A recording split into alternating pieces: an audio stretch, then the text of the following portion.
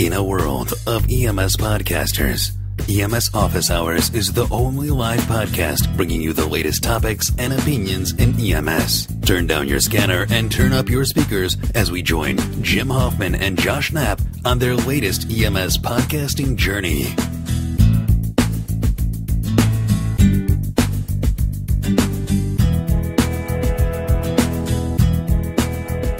Hey guys, Jim Hoffman here for EMSSEO.com, uh, EMS Office Hours, and the Monday Minutes.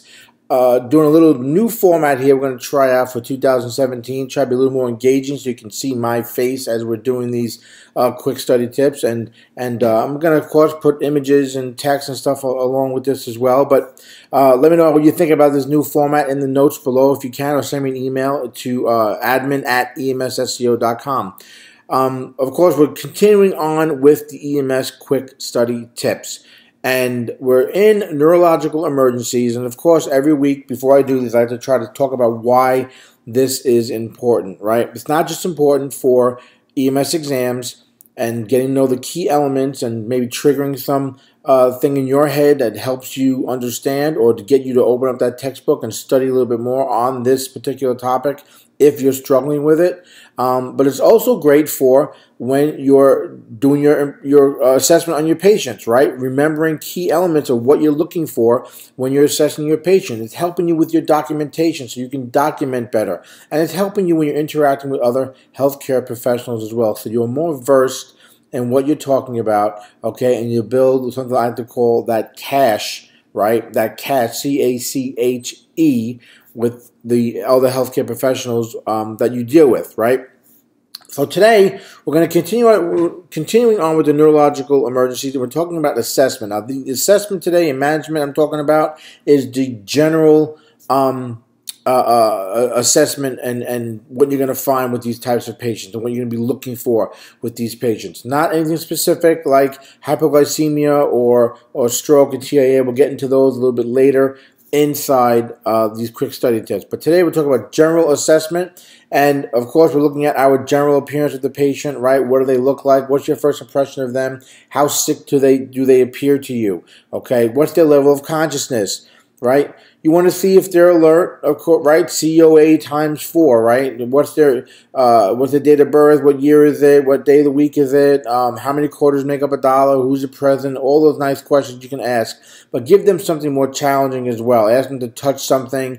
Um, ask them something to, uh, to something that they can repeat back to you for memorization, something like that. Especially if you are suspecting a neurological event going on, you want to give them something a little bit more challenging than your usual four or five questions that you might ask them, okay? What about their speech? Find out if there's been any recent changes in their speech patterns, okay? Ask family members, neighbors, or even the patient themselves if they've noticed an issue with their speech. Are they having problems formulating words? Um, has it been slurred and then came back to normal? Things like that. Uh, what about their skin? Is it splotchy? Is it bruised, like a rash looking, right? That could be a sign of meningitis. Just something to think about. We don't see that too often, but it is something to think about, right? What about their posture or how they're walking, their gait? Has there been any changes with that? Have they been falling more often than, than usual? Okay, bumping into things. Uh, all these types of things that kind of, you know, kind of put that puzzle together for a neurological issue that might be happening. Okay, so find out has there been recent changes, right? Maybe the patient won't admit to it. Maybe they're embarrassed. Ask family members. Okay, of course, you want your vital signs. You know, hypertension is the big one to look out for. All right, look for their vital signs as well. Uh, that's kind of a given, right? Their head and neck. Okay, what about ketones? Right, think about that hyperglycemia. Okay, um, you know that smells a little bit like alcohol, and you'll know it when you smell it.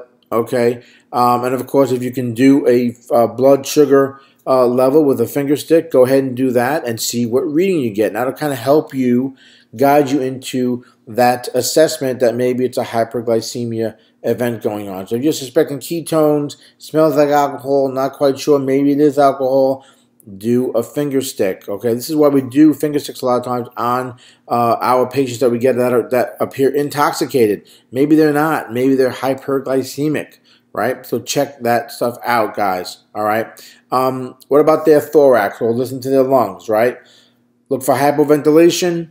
Look for things like uh, hypoxia, right? CO retention, all the type of things you want to kind of focus in on, okay, that might be causing other issues going on with your patient. Okay, remember, if it's a neurological event, it could it could suppress their respiratory uh, function, right? Make them breathe a lot slower than what they should, okay? And, and the same thing goes again with your hyper hyperglycemic patient, right? If they're in some sort of, if they're in a, uh, you know, DKA or something like that, and they're in a coma, they're going to be having that hyperventilation, that those those uh, Kussmaul respirations, right?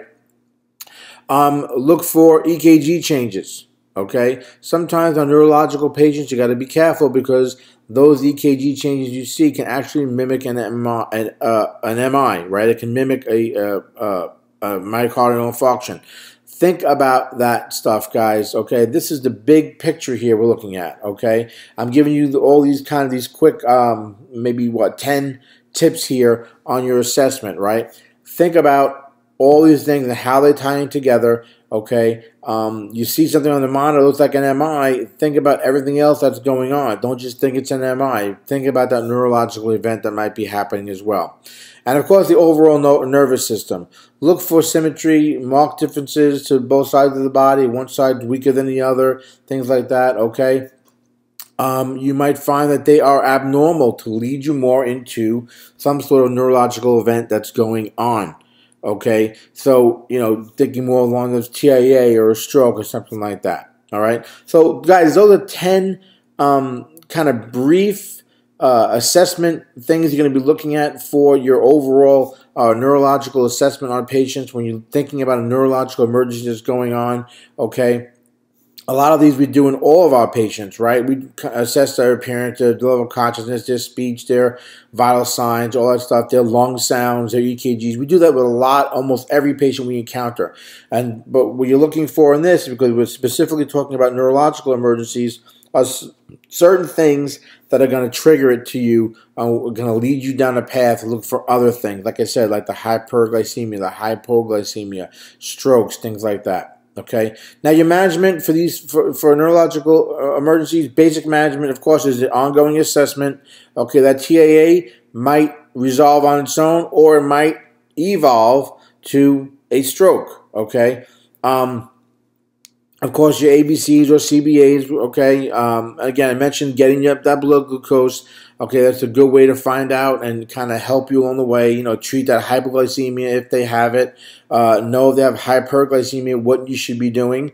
Okay, uh, your protocols might let you give a lot of fluid for those hyperglycemia patients. Okay, um, of course, follow your guidelines or whatever it is that, that you're allowed to do for those patients that have a high blood, blood glucose level. Okay, and what's that normal sugar? I mentioned before. Uh, most people most protocols anywhere between like 60 70 to 100 um, is what your normal glucose uh, sugar levels they'll consider normal you know you get them all the time they're 120 something 180 something right you're not going to go crazy with those they're not they're not hyperglycemic to treat like crazy nothing like that but just something to think about something to document like i mentioned before why this stuff is important right and something to pass on to the uh, er staff when you get there Okay, start an IV guide on these patients, and again, depending upon your protocol, you might want to give fluid. Might want to just go ahead and just do a lock. It depends upon your guidelines, right? Follow your local guidelines when it comes